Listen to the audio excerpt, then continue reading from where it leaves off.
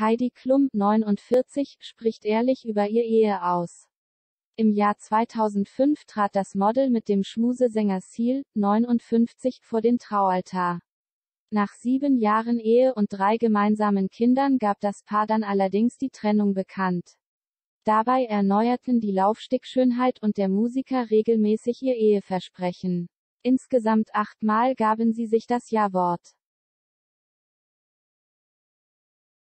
Wie Heidi nun offen berichtete, glaubte sie stets an ihre ewige Liebe und hatte mit der Trennung von Ziel zu kämpfen.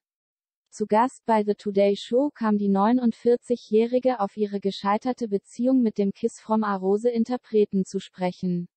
Es ist nie einfach, wenn man sich trennt. Wenn du Kinder hast und verheiratet bist, hoffst du, dass es für immer hält, räumte Heidi dabei ein.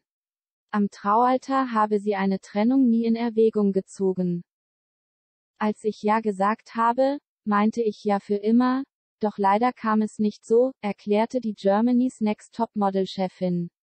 Das Wohl ihres gemeinsamen Nachwuchses habe aber immer an erster Stelle gestanden. Du versuchst dein Bestes, deine Kinder so glücklich wie möglich zu machen, sie zu lieben und zu schätzen, betonte Heidi.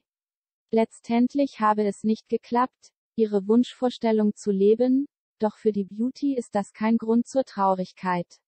So ist das Leben eben. Solange alle glücklich sind, bin ich es auch, meinte sie abschließend.